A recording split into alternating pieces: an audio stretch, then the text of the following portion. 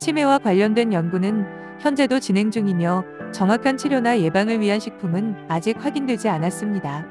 그러나 일부 연구는 건강한 뇌 기능을 지원하는 영양소가 있는 식품을 소개하고 있습니다.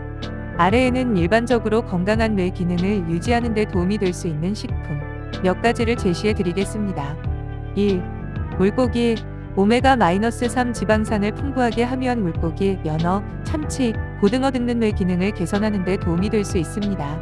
오메가-3 지방산은 뇌 건강을 촉진하고 염증을 줄이는 데 도움을 줄 수 있습니다. 2.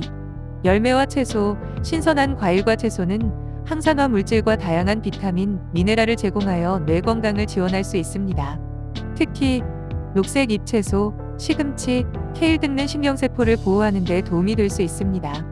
3. 견과류, 아몬드, 호두, 땅콩 등의 견과류는 오메가-3 지방산, 비타민 E, 항산화 물질 및 다른 영양소를 풍부하게 함유하고 있습니다. 이들은 뇌 건강을 지원하고 인지 기능을 향상시킬 수 있습니다. 4. 올리브실 올리브실은 건강한 지방산을 함유하고 있으며 염증을 감소시키고 뇌 건강을 촉진할 수 있습니다. 식사에 올리브실을 사용하여 요리하거나 샐러드 드레싱으로 사용할 수 있습니다. 5. 녹차 녹차에는 항산화 물질인 카테킨이 풍부하게 함유되어 있습니다. 카테킨은 뇌 기능을 개선하고 인지 기능을 촉진하는 데 도움이 될 수 있습니다.